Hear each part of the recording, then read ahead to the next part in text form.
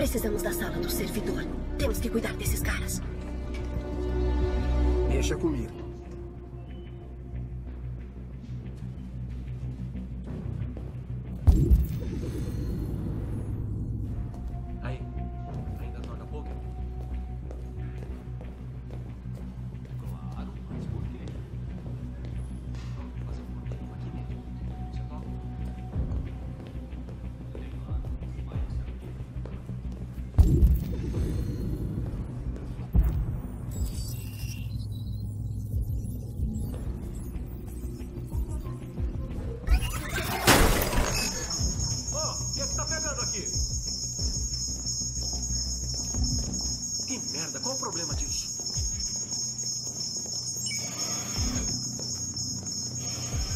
Tá, você cuida da plataforma e eu da janela. Tudo o que precisa está na bolsa. Olhe a porta antes para não deixar ninguém entrar.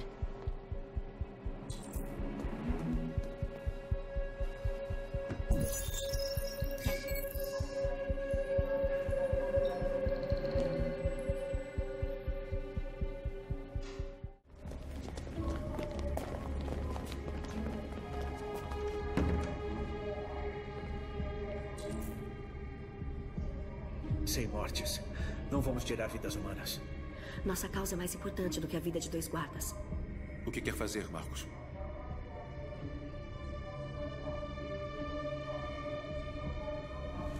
Espera aqui. O que isso está fazendo aqui? Eu sei lá. Ô, amigo, você está perdido? Quem te falou pra cá? O que você está fazendo?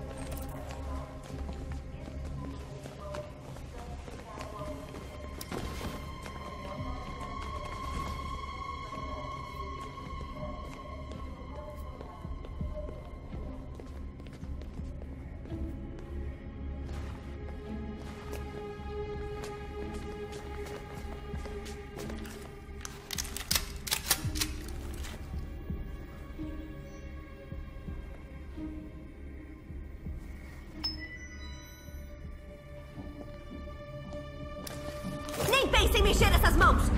Levanta, anda!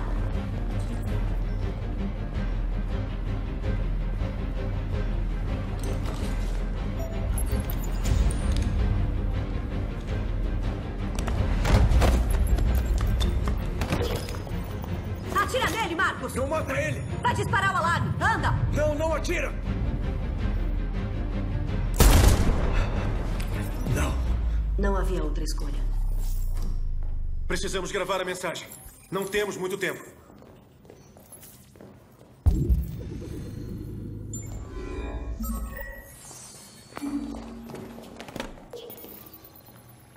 Cuidado com o que vai dizer, Marcos. Isso pode mudar o futuro do nosso povo. Marcos, seu rosto.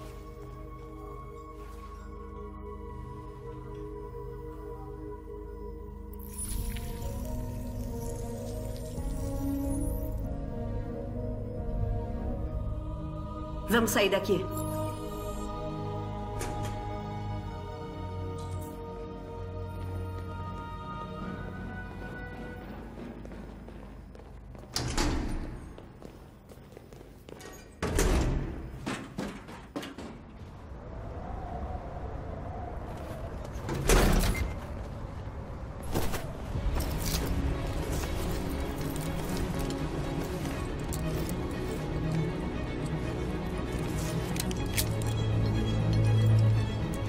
Meus parabéns, Marcos.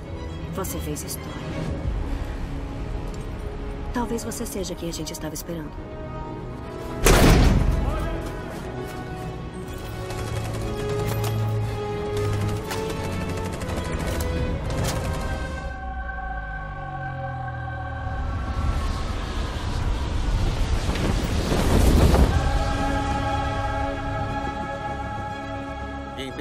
Mudamos nossa programação para trazer estas imagens que acabam de ser transmitidas no canal de notícias de Detroit. Um grupo de androides se infiltrou na torre de Stratford e invadiu o sistema de transmissão da rede de notícias local, canal 16. Um androide, aparentemente sem pele, listou uma série de exigências e reclamou direitos iguais para os androides. A operação resultou em uma vítima.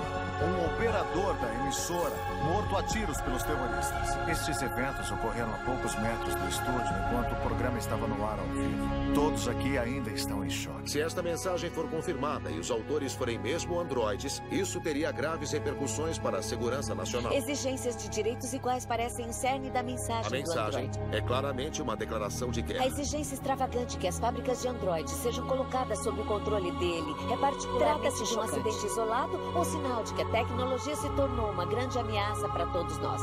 Depois do que houve hoje, ainda podemos confiar nas máquinas?